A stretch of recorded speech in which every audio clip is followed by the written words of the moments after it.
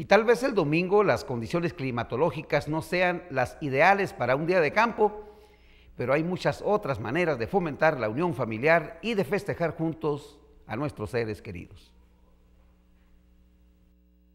amado, aceptado, guiado, cuidado, en fin, un sinnúmero de apapachos. Bueno, esos son algunos de los sentimientos que nos regala el calor de hogar en cada familia, la cual debemos de cuidar y alimentar con amor, paz y prosperidad día con día. Es por eso que debido a que se aproxima el Día de la Familia, les damos un panorama de actividades, las cuales pudieran realizar con sus seres queridos. Para celebrarlo, Nogales Mall tendrá actividades culturales y de ciencia para todos aquellos interesados en algo diferente, así nos lo menciona el encargado de los eventos del centro comercial para este fin de semana, pero en especial para el día domingo, tenemos una serie de actividades eh, enfocadas a divertir a nuestra familia nogalense y consentir a toda la gente que, que nos visita toda la semana y en particular el domingo queremos celebrarlos con un festival folclórico en el que se van a estar presentando dos grupos de excelente calidad. Por un lado tenemos el Ballet Folclórico Municipal que pertenece a Infoculta y el otro es el Ballet Folclórico Yaquimi del Centro de Seguridad Social del IMSS.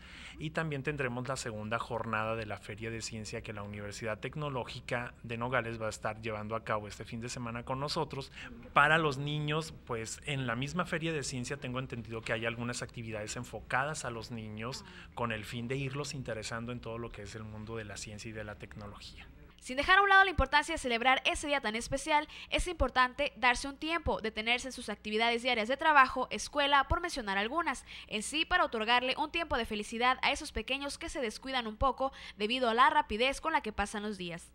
Hay varias actividades que se pueden hacer en un fin de semana, como ver películas, practicar algún deporte en familia, una parrillada en casa, compartiendo un juego de mesa o, por qué no, una charla familiar. El fin es nutrir el núcleo de amor, afecto y comprensión en el que vivimos. Con imágenes de Francisco Villa para el canal de las noticias, Carla Heredia, Siete Nogales.